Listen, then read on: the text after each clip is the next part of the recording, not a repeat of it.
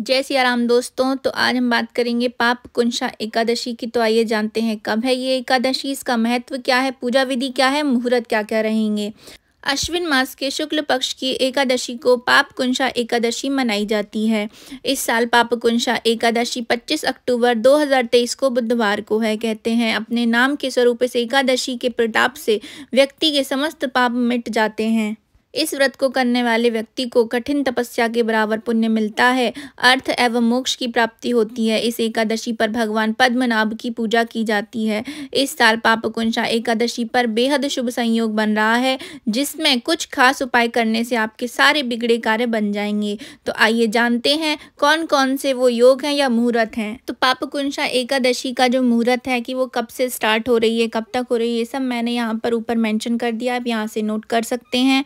और इस व्रत का पारण जो है वो 26 अक्टूबर को होना है, उसका भी क्या समय रहेगा, ये भी मैंने यहाँ पर लिख दिया है। आइए अब जानते हैं कौन कौन से योग बन रहे हैं। पाप गुंशा एकादशी पर इस साल वृद्धि योग, रवि योग, त्रिग्रही योग का संयोग बन रहा है। वृद्धि योग में बहुत शुभ माना जाता है। इस योग में किए गए काम, पूजा सफल होती है, कार्य में वृद्धि होती है। त्रिग्रही योग के प्रभाव से जातक को धन और सुख की अनुभूति होती है। एकादशी का व्रत ग्रहों के असर को भी काफ़ी हद तक कम कर देता है, क्योंकि एकादशी का जो व्रत है वो सीधा प्रभाव उसका प्रभाव सीधा मन और शरीर दोनों पर पड़ता है। जब तीन ग्रह एक राशि में विराजमान हो तो त्रिग्रही योग बनता है। पाप, कुंशा, एकादशी पर मंगल, सूर्य और बुद्ध तुला राशि में विराजमान होंगे। इससे त्रिग्रही योग बनेगा। आइए जानते हैं कि आपको पूजा विधि किस प्रकार करनी है। सुबह जल्दी उठकर स्नान आदि से निवृत्त हो जाएँ। घर के मंदिर में दीप प्रज्वलित कर लें।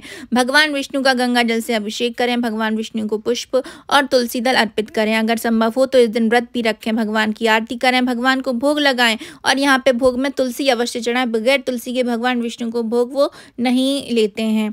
आइए अब जानते हैं कि पाप कुंशा एकादशी पे आपको क्या क्या दान करना चाहिए? जो व्यक्ति सुवर्ण, तिल, भूमि, गौ, अन्न, जल, जूते और छाते का दान करता है, उसे यमराज के दर्शन कभी नहीं होते हैं। तो ये है महत्वता अपने पाप कुंशा एकादशी की। आपको कैसी लगी? ज़रूर बताइएगा। और इसकी जो कथा है वो मैं आपको डिस्क्रिप्शन बॉक्स में नीचे दे दूँगी। तो अभी के लिए जय सिया